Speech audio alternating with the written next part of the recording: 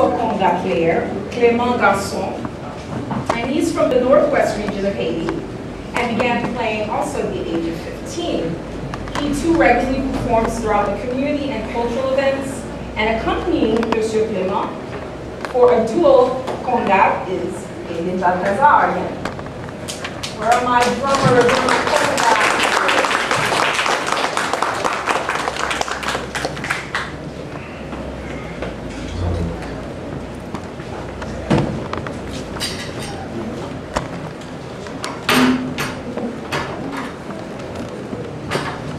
Thank you.